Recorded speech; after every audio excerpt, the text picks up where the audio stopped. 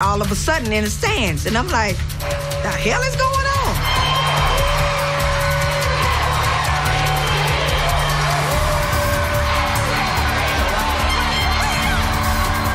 I don't know what's going on, but I hear a Macon yelling, a DDP yelling, and then all of a sudden, everybody's going nuts. It's crazy in here.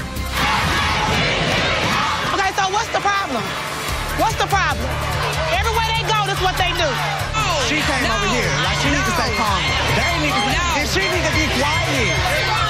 Get her. Get her. No, Diana needs to check up. Girl, what you gonna do? Oh, my God. I don't even shut the nothing. Nothing. I don't even shut the Rick from FADD tells me I need to shut the F up. Don't tell me to shut the up. I'm trying to figure out what the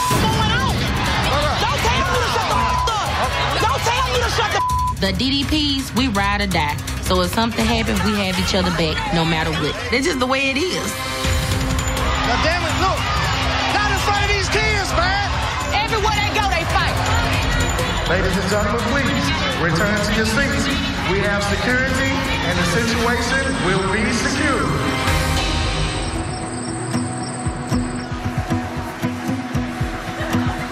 Due to a series of unfortunate events, I'm going to leave the last words to Miss Christie. Good evening. On behalf of all the judges, we have made it a collective decision that there will be no trophy awarded for the final battle round. Let me speak.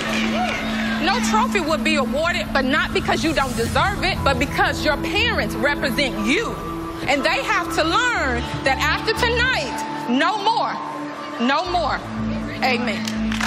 The judges have decided not to award a trophy and stay in stand battle because of the commotion going on with the parents. You know, this is not a good start to the season.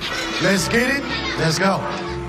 I just feel so bad. These girls been working so hard preparing this week.